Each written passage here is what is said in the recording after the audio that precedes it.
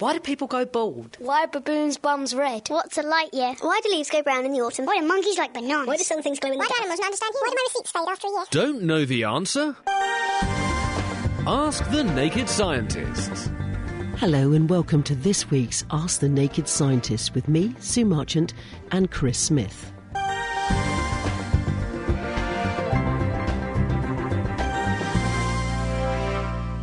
So, what's new in the world of science? Well, the, I suppose the big thing this week, people are still talking about swine flu. Mm-hmm. And this week's news was, of course, that the number of cases that were declared, and these are diagnoses largely clinically made, in other words, doctors listening to symptoms and examining patients directly rather than taking samples and testing them in a lab. Mm. But the n- numbers were slightly lower this week. All because largely school children have gone on holiday and we're expecting the numbers to go up again when the schools go back. But it's good timing, really, that there's a paper this week in the journal Science, and this is by two researchers in America. It's Jan Medlock, who's at Yale, and also Alison Galvani, who's at Clemson University. And the two of them have said, actually, let's look at the guidance that governments all around the world are putting out about who should be vaccinated. Because when we do eventually get the swine flu vaccine, we know that initially it's going to be in short supply. And so governments all around the world have felt a bit of pressure to come up with some kind of strategy and decide who we should put at the top of the list. And usually featuring on that list are people who we traditionally view as vulnerable, people who have some kind of pre existing chronic disease like a chest disease or heart disease, kidney disease, and so on. But what this group of researchers have done is to say, well, the strategy we're taking is to vaccinate those people because if they do come into contact with flu and we've vaccinated them, they'll have a better outcome. Maybe what we should do instead is to say, well, wouldn't it be better to stop them getting the flu in the first place or even hmm. coming into contact with it? And if we can break the back of the transmission cycle of flu, that would be a much better way to handle the problem. So, what they've done is to build a computer model.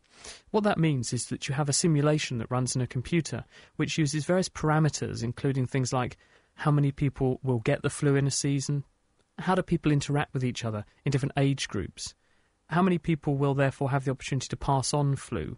When you give these people a vaccine, how many of them will be protected? When people get the flu, how many will die? How many will become seriously ill? How many days off work will there be? And this enables you to build a computer simulation of what will happen in, say, America, which is where they based the, the sample, but it's probably hmm. extrapolatable to most Western countries. And using that model, they were then able to feed in various parameters to work out, well, what should we actually do about vaccinating people? And a really interesting pattern emerged because every time when they ran their simulation, what they found was the computer suggested that the people we should be vaccinating are the age group 5 to 19 years and 30 to 39 years. And you say, why them?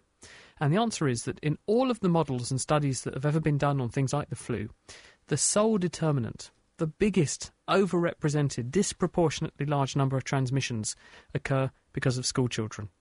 It's because lots and lots of children get together in school every day. Children are vulnerable to lots of infections because they don't have any pre existing immunity, so they get really infectious. They also pass those infections on to their parents, mm.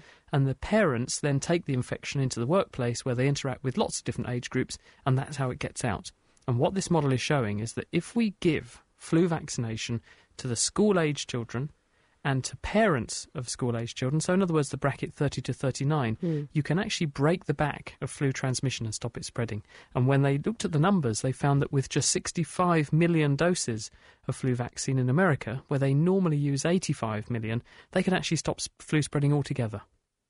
Hmm, all right. Well, that looks like something. I mean, do you think that's ever going to come into being?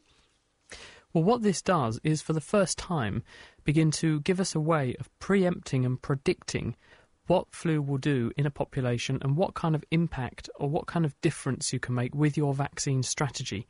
Previously, it was largely ethically driven. We decided that we, there were people who we needed to protect, and we thought about protecting them uh, from direct contact with the flu rather than breaking the transmission chain. And this is taking a slightly different approach, which is quite exciting, really.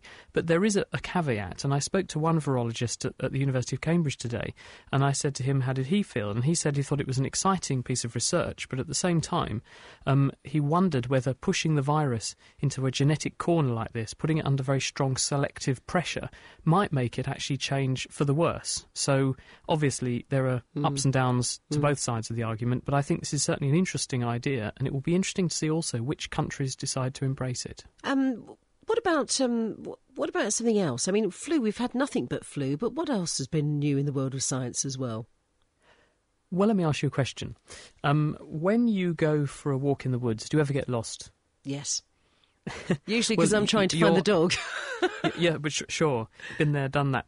You're in good company. And it goes back historically, actually. Mark Twain, we've all heard of Mark Twain mm-hmm. because of the wonderful books he wrote, Tom Sawyer and Huckleberry Finn. He also had a book called Roughing It, in which he suggested that people go round in circles when they get lost. So did J.R.R. Tolkien, Lord of the Rings man, and so did Hollywood. If you ever watched the film Flight of the Phoenix, that was all about people going round in circles in the desert. And the point about this story is that no one's ever subjected this claim to scientific scrutiny. So a group of researchers in Germany decided that's what they would do. This is Jan Souman, who's with the Max Planck Institute over in Tübingen in Germany. And what he and his colleagues did was to unleash some lost walkers and ramblers in an unfamiliar forest and tell them to walk in a straight line whilst they tracked their movements with GPS. So they could see where the walkers were going, but the walkers didn't know where they were going. Hmm. Now, of these six people who they started studying first, four of them did the challenge in a sunny environment. So, in other words, they could use the sun to navigate by, and they tended to walk in a pretty good straight line. Hmm.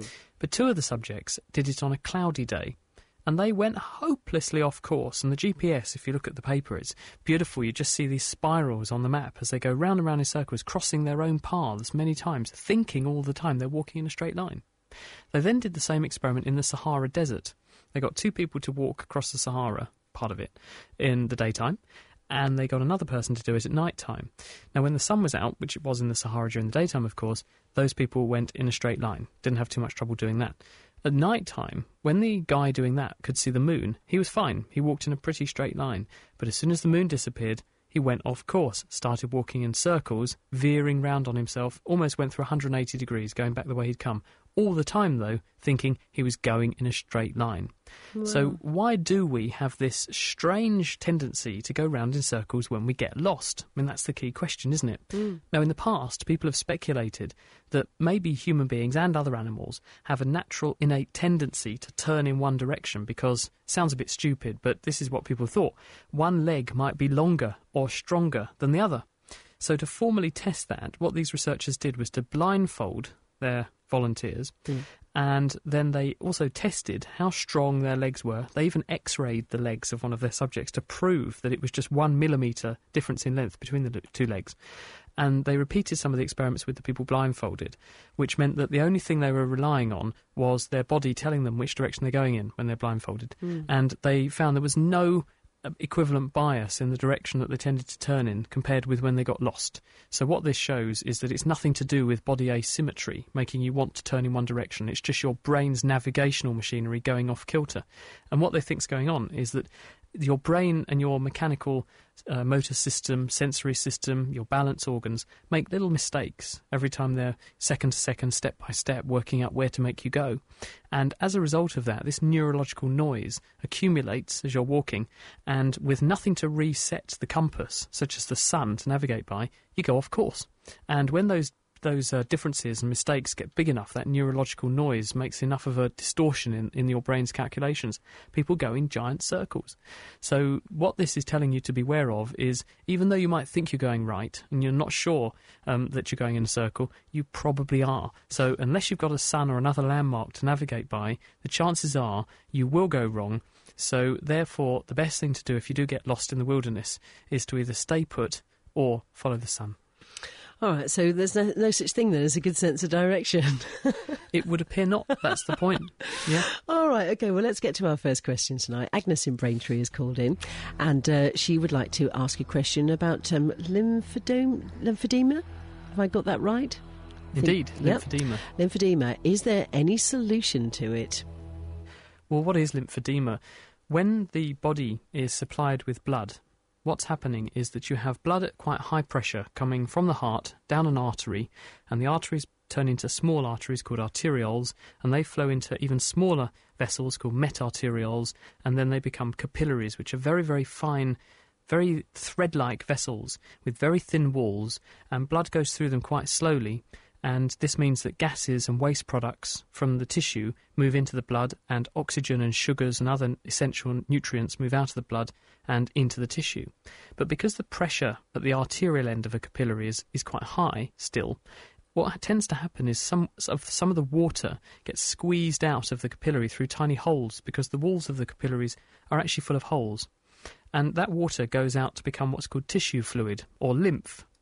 At the other end of the capillary, near to the veins, the uh, pressure is much lower, and so some of that water gets drawn back into the capillary because of the action of proteins in, in the bloodstream which can't leave the capillary, and they exert what's called an oncotic effect, and they pull this colloid oncotic effect pulls water and other fluids back in from the tissue into the um, capillary, but it doesn't pull all of it back in, and this leaves a small amount of the fluid, about 10% of the fluid which left the capillary in the first place, in the tissue. So you have to dra- drain that away or scavenge that back somehow. And this is where a new class of tubes we haven't met yet, called lacteals and lymphatics, actually come into play. These are, they're a bit like veins, and they have valves in them. But what normally happens is that they just act like little drains or sumps, and the extra tissue fluid goes into them, and they then collect the tissue fluid and bring it back into the core of the body, and then add it back into the bloodstream up at the top of your rib cage, up near the um, up near your left shoulder, and th- th- in that way they collect all this excess fluid. Now, if for some reason the lymphatic pump, in other words, the ability to draw off this lymph, doesn't work properly, then you will get the excess fluid that was filtered accumulating in the tissue and it will swell, and that's called lymphedema. So if something goes wrong with your lymphatics, you will get swelling. If for some reason you make too much fluid in the tissue, more than the lymphatics can cope with, you will get swelling. And if there's high pressure on the veins, for example, uh, stopping blood moving back out of the piece of tissue, you will get swelling because this will exert back pressure and force more water out, again overwhelming the lymphatics. So that's what lymphedema is. You can also get it when there's not enough protein in your blood to draw the water back in, um, to pull it back inside the capillaries. And that can happen in a variety of conditions. So that's why you get lymphedema. In terms of treating it, uh, you would obviously need to deal with the cause. So if the cause is blocked up lymphatics, and that can be because of things like cancers, it can be because of parasites. There are certain worms that live in tropical countries that make a beeline for your lymph nodes. They block them up, and this stops the fluid draining out of the tissue, and you get a condition like elephantiasis. So dealing with the parasites is another way to deal with it, or dealing with the blockage in the vein or the high pressure, which is putting too much fluid out into the tissue in the first place. So the treatment is symptomatic. Um, another way of dealing with it is to increase the pressure in the tissue. And wearing stockings that put pressure on the tissue, and these are things like TED stockings as they're known, these squeeze the tissue, make it much harder for fluid to leave the capillary in the first place, and therefore it stays in the blood vessel and, and goes out of the limb, and that helps to get rid of the problem. And also elevating the body part, so gravity gives you some help. That's another way of doing it. All right, Agnes. Well, we hope that's helped you as well. Got another question here, which has come through from uh, Mike, who says that. Um, could you ask um, Dr. Chris, is there a limit to the number of mobile phone frequencies? Well, the answer is yes, because the way a mobile phone works is it's using microwaves to send a radio signal with your voice to the base station, and the base station is using a different frequency to send the voice of the person calling you to your phone. And this means that obviously uh, each phone is taking up a little bit of the radio spectrum because microwaves are analogous to radio waves. And this means that there's a limit to how many phones that you can have because each phone needs to be separated from and on a different frequency to other phones, otherwise, they're going to interfere with each other. Now, one way that cell companies get around this problem is by creating a cellular network.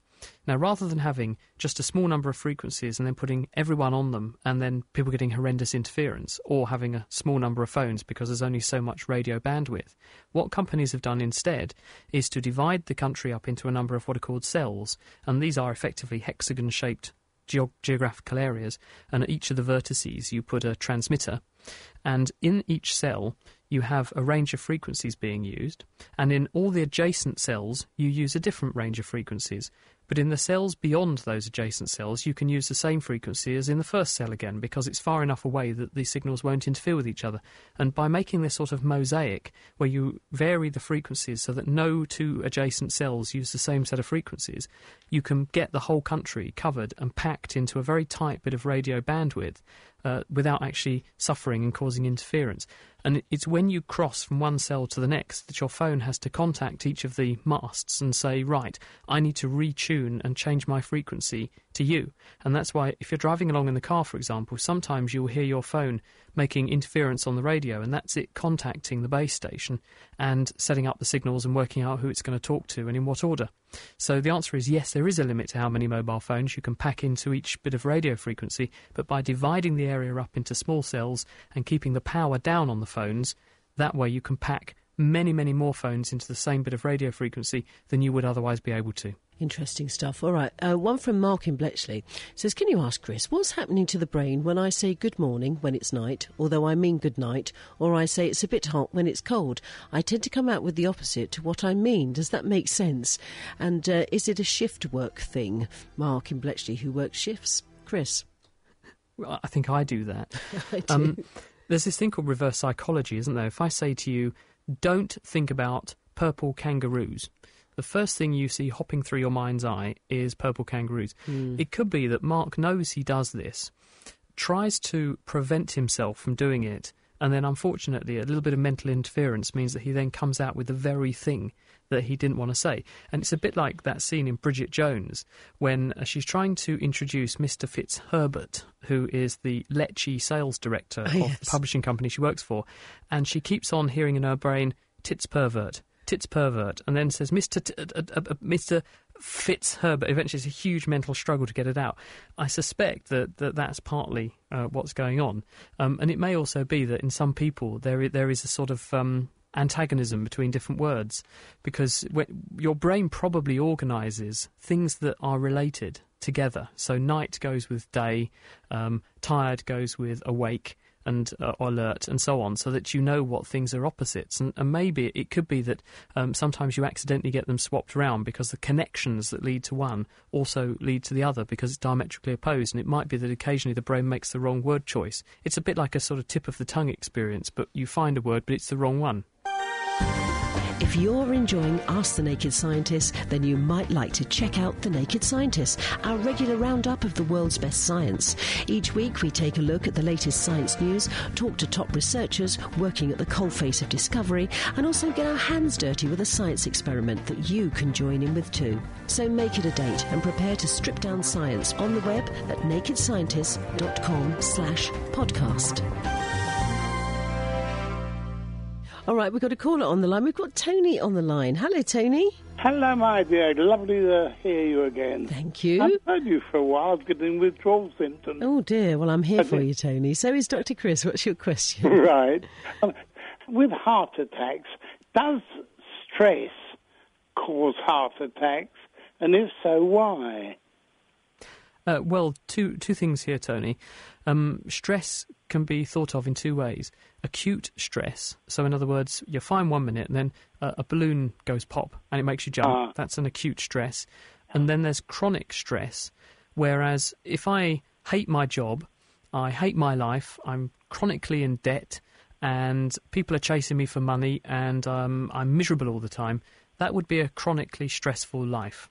And those two things are different and they both impact on health in different ways. People who are chronically stressed and chronically depressed tend to have very high levels of stress hormones in their bloodstream. This can contribute to things like high cholesterol levels and high fat levels, people also tend to use drugs if they're in that condition, or they may drink too much. They may also not tend to eat healthily. They may exercise less, and they sleep less well. All these things contribute to high blood pressure, and this contributes to arterial disease, and ah. that contributes to a heart attack. So, chronic stress is definitely consistent with an increased risk of heart disease. Acute stress, on the other hand, the balloon going bang, you get robbed in the street, someone jumps out, makes you jump, uh, something like that, something unexpected, that can trigger heart attacks in a different way, which is that when you are made to jump and you go, oh, like that, and you f- you feel butterflies in your in your chest, your tummy feels odd, and you may take a very deep breath or go, oh. When that happens, you are releasing a very big surge of stress hormones, adrenaline, into your bloodstream. And what this does is it puts your body into fight or flight mode. The body gets ready because it thinks it's going to have to do some action. This is the action of adrenaline. One of those things is to very quickly increase heart rate, and it may double, even in some cases, triple heart rate.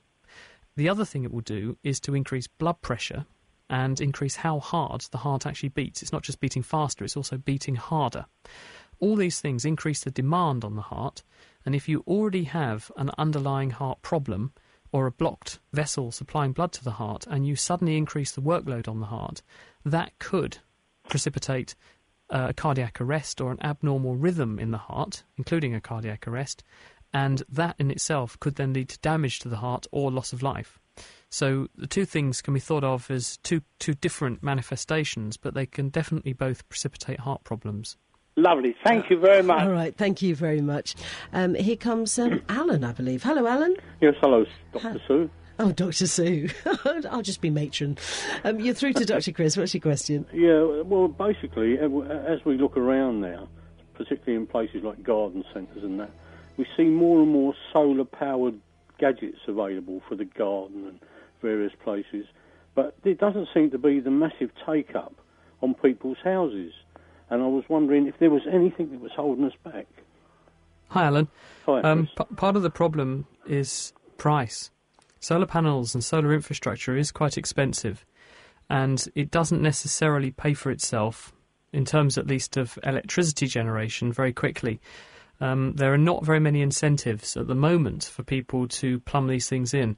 In Germany, for example, they will pay people uh, for the energy that they return to the grid. In the UK, that is not necessarily the case. So, in some places, it can be, but not as a general rule. So, even though you might be generating a surplus of electricity, this will help to offset your electricity bills a bit, but you won't make a fortune. Um, when I asked Dr. Karl, my friend from Australia, who uh, is a radio broadcaster and has just turned his house into a massive solar array, he said the time it would take him to recoup the money he was saving by generating quite a lot of electricity was 250 years. So it's not financially uh, an incentive for people at the moment. For making warm water, which is obviously a very different technology, this is where you have a, a black membrane surface that transfers the sun's energy into water, Yeah. and this can help offset heating bills. That's a lot more economical in terms of uh, wallet sparing effect. And that is that is worth doing, but it's not generating electricity. It's generating warm water, which restricts what you can do with it, obviously to a certain extent. So, if we got a, you got a house and you're building a new house and it was incorporated into the price of the new house, wouldn't that be a viable proposition? Definitely. And if you look at where most of the carbon budget goes on the population of a country like Britain, about 40% of the CO2 that we chuck out individually every year just goes on keeping our houses warm. So when we build new houses, people are trying to make sure that the houses that they put up are very sensitive to saving energy and they scavenge as much energy as they can from the environment and release as little as possible. And this includes keeping themselves cool in summer so you don't have to use aircon and warm in winter hmm. and doing things like using solar arrays on the roof to warm up the water. So people are doing that. And in fact, we did a show on the Naked Scientists. It was a year ago now, but we did actually look at a new development which is being plumbed in. Uh, I think it's down in Surrey.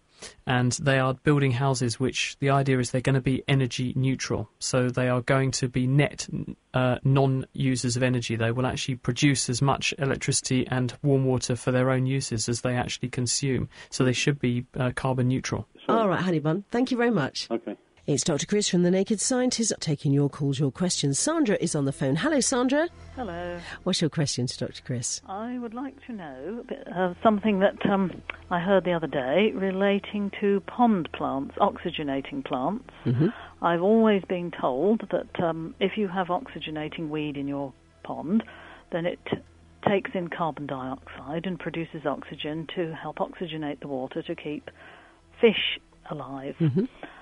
I recently was told, oh, that only works in the day. At night, pa- plants produce carbon dioxide. Now, is that correct? Hello, Chris. Sandra. Hello. The answer is yes, it's absolutely true. Um, plants use the process photosynthesis to use the energy in sunlight to drive a chemical reaction that enables them to split apart a molecule of carbon dioxide, link it with a molecule of water, and you do that a few times and you turn six molecules of CO2 and six molecules of H2O, water, mm-hmm. into one molecule of glucose, C6H12O6, and a byproduct, oxygen. You get six molecules of oxygen off, and that's what you see bubbling out of your plant. But in every cell that's living in a plant, and also in you and me, you're also burning energy because you need to live. And so plants will be using some of that glucose and reversing that chemical reaction. So they burn one molecule of glucose with six molecules of oxygen, and that produces six molecules of CO2 and some water.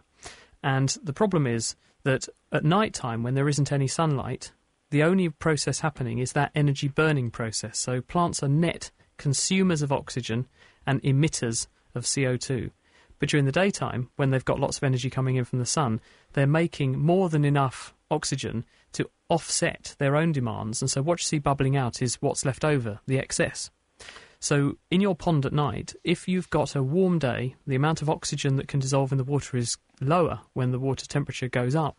This means that you can get to a critical point where there's not enough oxygen in the water that when night time comes and the plants start using their share of the oxygen, the tension drops really, really low and then the fish can actually get starved of oxygen. And the way to make sure that doesn't happen is to plumb in something like a little waterfall or something because the what this does is by dropping water into the water, it it mixes the surface of the water with air and some oxygen dissolves and this keeps the fish happy. Thank you very much. Thank you, Christine. Thank you. Bye-bye. Bye bye. All right. Well, Anna in Ipswich asks um, that something that's puzzled her for years. Accent. If someone comes from the north, the south, or Wales, you can detect an accent. However, when we sing, with very few exceptions, the accent disappears. Why is this? Well, that's because accents are actually a learned behaviour. When you're a child and you're learning to speak, you learn by imitation and you copy the way that your parents speak. And what is speech? Well, what you're doing is making your vocal cords vibrate. And this is making a humming noise, and then you change the shape of a resonator, in other words, the, the tube, it's a bit like an organ tube, to make a different sound. And this is exactly what you do with your mouth. You change the shape of your resonator, your mouth, and as a result, you get different sounds coming out. And you do that in quick succession with movements of your lips and tongue, and this makes different sounds, which we hear as different letters, words, and so on. Well, when you learn to speak, you copy your parents, and therefore you make those sounds the same way they do, and you have an accent. But when you're singing, you, what you're doing is producing um, a lot of sounds very, very fast, and you're not necessarily learning to sing the way your parents sing. You're learning to sing to make a musical sound. So you're actually achieving a different thing than speaking, and that's why it's possible to sing in an apparently unaccented way. The only giveaway is occasionally when you sing in a foreign language because some of the words just don't seem to come out quite right. Um, but on the whole, if you if you listen to that, that song Golden Earring, um, that Radar Love by Golden Earring, you have to listen quite carefully to know that those Dutch guys singing that aren't English.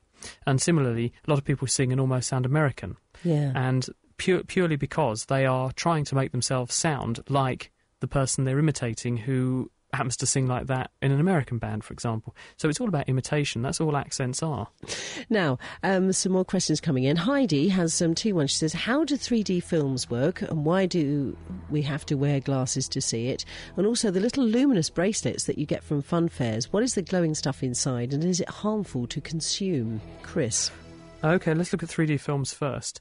Uh, the way this works is that what you do is in the old days they used to do it by projecting two different uh, colours largely onto a screen. So you have a red and a blue set of glasses, and by projecting two images side by side, um, and you choose your colours that you project in such a way that the blue glasses will screen out one of the images and the red glasses will allow it through, and vice versa. So the two eyes see two different images slightly displaced from one another, and because the brain sums together what it sees, it reassembles these two different images, and you see a three dimensional image, which is exactly what you see when you look at the world normally. And so, what you see is you experience the movie in three dimensions because you're seeing, instead of something on a flat screen in two dimensions, you're seeing two images, which is the same as what your two eyes would experience in a 3D world. Um, in more recent times, what people do is to use uh, polarizing lenses. So when you go these days, you might get uh, things that are a bit like sunglasses to put on. And what it's doing now is is they're beaming two images in the same way, which are overlapping but just slightly off from one another, and they are slightly different polarities of light. So when one of them goes through the polarizing lens, it gets cancelled out, but the other one can go through on the other eye, and vice versa, and it achieves the same effect. So that's how you actually are, are creating a three dimensional experience. That's why you have to wear the glasses.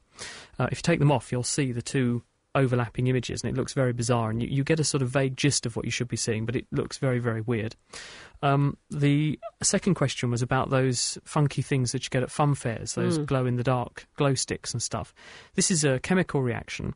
Um, it's it's a couple of chemicals. One of them's hydrogen peroxide, and the second one is an ester. Uh, usually, this is something called phenyl oxalate ester.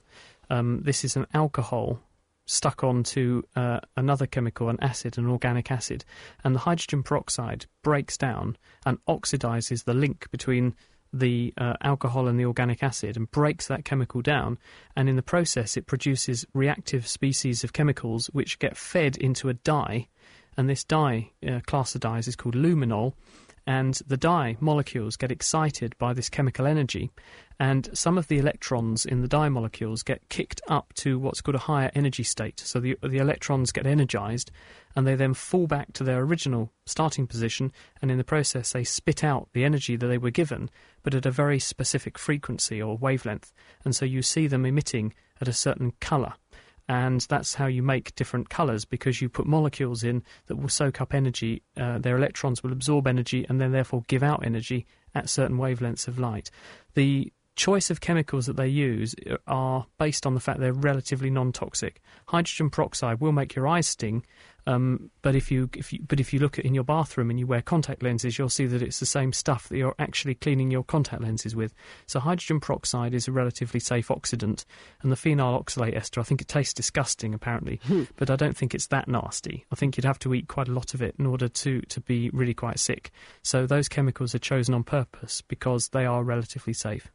All right, well, we've got a little bit of time left, Chris. Um, just um, one here on the text from Steve says he suffers from tinnitus. Um, if he eats food high in salt, the symptoms go. Does this indicate normally low blood, blood pressure? Chris? Uh, well, tin- tinnitus is uh, a manifestation of the cochlea, which is the organ in your inner ear which converts sound waves into brain waves, not working properly. And there are some conditions which are linked to there being an insufficient amount of a fluid, which is uh, that there are two fluids which flow around in the ear. There's perilymph and cortilymph. And if you don't make enough of these chemicals, these these ultrafiltrates of blood, then what this can do is interfere with your balance and it can also interfere with hearing. It might be that when Steve eats extra, extra, extra salt, what he does is to drink extra water because it makes him thirsty, and perhaps this contributes to extra fluid in the ear and this offsets this problem. It might be worth getting it checked out to see if he's got one of these conditions. They're quite rare, but um, there are conditions where you don't have the right amount of these fluids in the ear, and uh, this can contribute to these sorts of symptoms. All right, well, Janet wants to know why, when it's a windy day, why does the wind drop at night usually? Um, the the answer uh, to where do gusts of wind come from and why does it stop being windy at night is well, if we look at what wind is, wind is a mass movement of air, and you get wind. Not you personally, but in the environment, when you have a high pressure area and wind flows from that high pressure area, air is pushed by the high pressure towards the low pressure. So, in other words, you have movements of air from high pressure to low pressure. What makes a high pressure area or a low pressure area? Well, temperature. So if you make a gas cold, it shrinks. If you make a gas hot, it expands. So if the sun shines on a certain bit of the earth, it will add heat to the land, and this will add heat to the air. The air will expand, and the pressure will go up. This will therefore have a higher pressure, and the air will try to move towards a, another cooler area. This is why you get, say, a sea breeze. So you tend to get a sea breeze in the afternoon because the sun warms up the ocean surface. This puts heat into the air. The air then warms up because of eva- evaporating water, giving energy to the to the air, and this then flows towards the land, and you get a sea breeze, which sailors know very well. Um, so towards night time, of course, the, sea- the heating effect of the sun goes away, temperature drops, and therefore this uh, heating effect stops, and so the wind tends to calm down overnight. If you, that is the reverse of the sea breeze effect. That's the answer. That's it for this week. Our doctors will be back with me next week for more Ask the Naked Scientist. But don't forget, you can also catch them on the Naked Scientist podcast, which you can find on the Naked Scientist website, www.nakedscientist.com. The Naked Scientists are sponsored by the Wellcome Trust, the EPSRC, and UK Fast. For more information, look us up online at nakedscientists.com.